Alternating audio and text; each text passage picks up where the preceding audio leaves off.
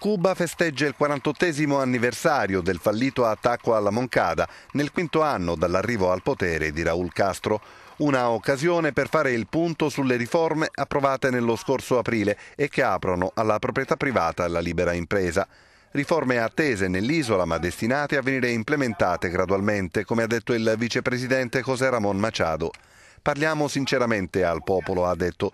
Tutti i cambiamenti arriveranno, senza fretta ma anche senza interruzione. Tra le innovazioni previste anche il diritto per i cubani di acquistare la casa, un modo per togliere interi quartieri dall'abbandono e fare emergere alla legalità un mercato clandestino, ma nella pratica poco è cambiato. Avrei i soldi per comprare, ma non ci sono ancora riuscito perché le cose restano poco trasparenti, dice un idraulico di 67 anni.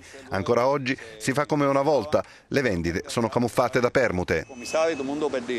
Entonces eso se está practicando hasta los días de hoy. In base ai piani del governo cubano, almeno 500.000 alloggi saranno immessi sul mercato legale privato. Dal 1962 sull'isola grava un embargo commerciale proclamato dagli Stati Uniti.